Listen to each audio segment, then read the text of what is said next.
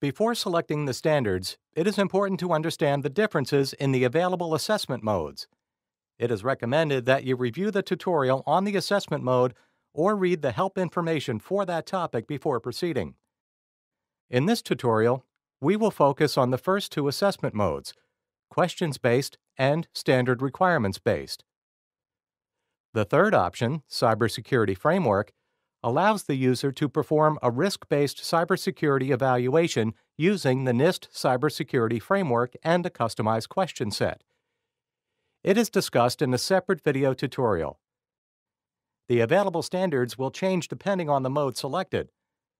We will first select the questions-based mode, and then open Step 2, the Questions and Standards.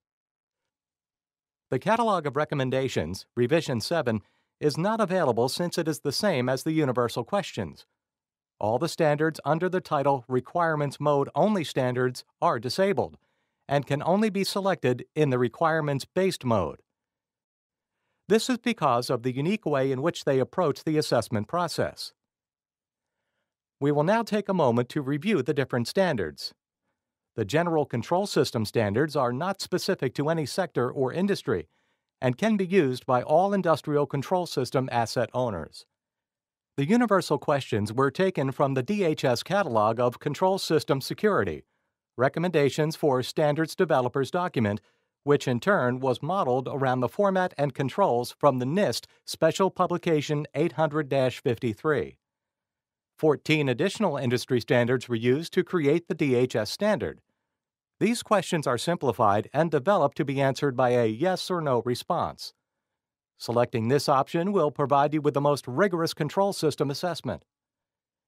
The key questions are a selected subset of the universal questions and were created to support assessments with time constraints. They cover what experts deem the most critical controls. NIST Special Publication 800 82 was developed as a guideline specifically for industrial control system cybersecurity and is very useful for evaluating control systems. Revision 1 is an update to the standard that incorporates 800 53 controls and the concept of control overlays. NIST Special Publication 800 53 with Appendix I is a government standard for information technology systems, with special industrial control system adjustments found in the appendix. The next grouping of standards come from specific sectors. The CFATS guide supports requirements in the chemical sector. INGAA standards apply to the natural gas pipeline industry. The NEI standard is designed for nuclear energy facilities.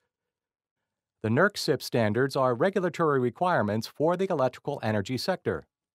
Both Revision 3 and Revision 4 are available for selection. The NIST IR 7628 guideline apply to the electric sector and deal with national electrical transmission systems.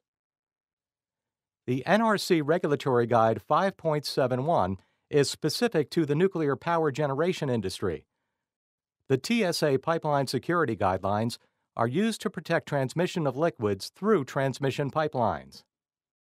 For information technology systems, the NIST Special Publication 800 53 is available.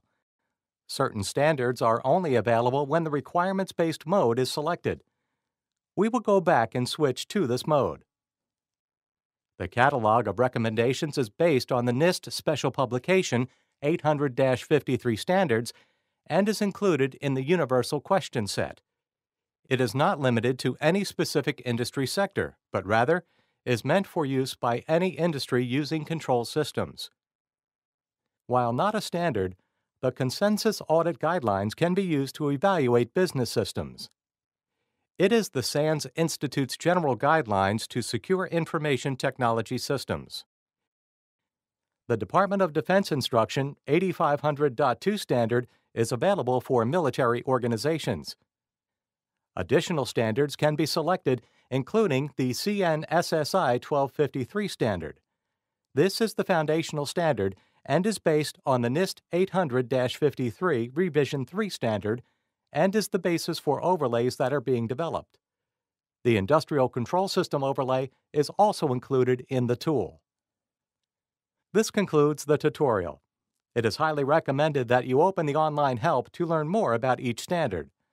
The help information will provide far greater detail on both the process and background information for each of the available standards.